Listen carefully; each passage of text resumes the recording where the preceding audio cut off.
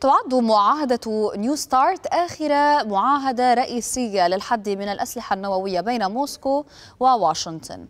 ويتوقع أن تنتهي في فبراير المقبل لكن هناك تطورات تشير إلى إمكانية تجديد هذه المعاهدة.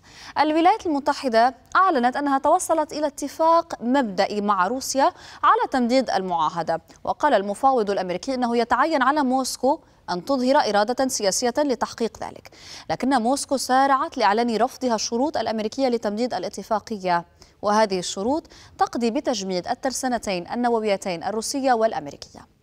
دخلت معاهدة New START حيز التنفيذ عام 2011 وتلزم البلدين بخفض رؤوسهما النووية الاستراتيجية إلى 1550 رأسا كحد أقصى.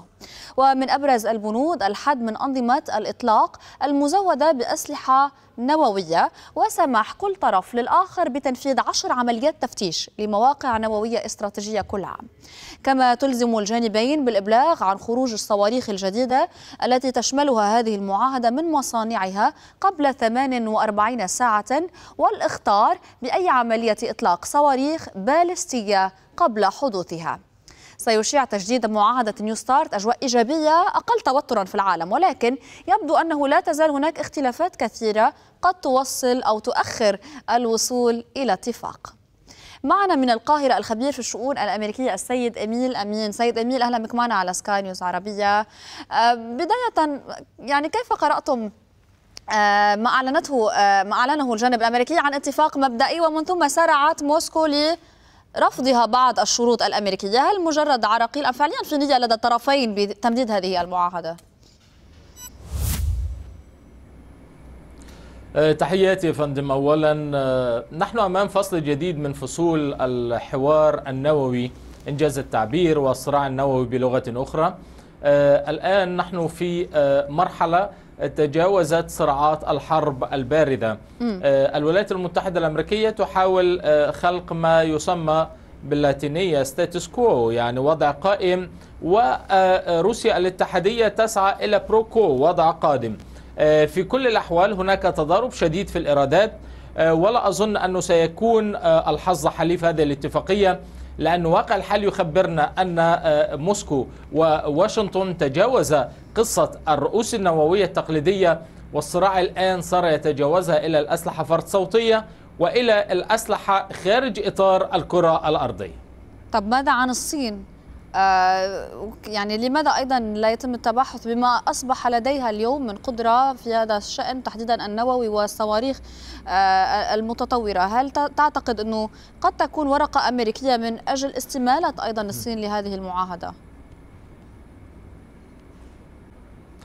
أحسنت السؤال هو الفكرة أنها ليست استمالة بل احتواء. آه الذي تبع تطورات المشهد العسكري النووي الصيني. تحديدا يرى أن الصين تبغي خلال عقد قادم أن تتجاوز ترسانتها النووية عشرة ألاف رأس نووي بما يعني أن تكون لها أيضا اليد العليا والباع الطويل كما روسيا وكما آه واشنطن.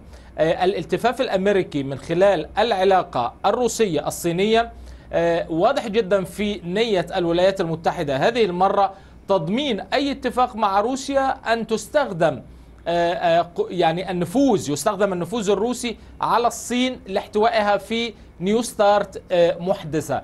هذا هو التفكير الأمريكي إن جاز التعبير. لكنه أظن أيضا أن الصين لن تقبل بهذا الوضع. لا سيما وأن الرئيس الأمريكي لديه تصريحات مثيرة تصريحات متضاربة. يعني هو يسعى لاتفاقية نووية في حين أنه يكايد سياسيا. الروس والصينيين بالقول أن لدينا أسلحة يحسدنا الصينيون عليها ويحسدنا أيضا الروس عليها. كيف لك أن تسعى لاتفاقية بهذا الشأن؟ وأنت يعني تكايد أو تغيظ بشكل أو بآخر الطرفين. طيب ولكن سيد أميل هل تعتقد أنه لروسيا مصلحة في أن تترك الجانب الصيني أو عدم احتواء الجانب الصيني في هذا الشق؟ وفي إمكانية باعتقادك أن يتم توافق أمريكي روسي تحت الطاولة؟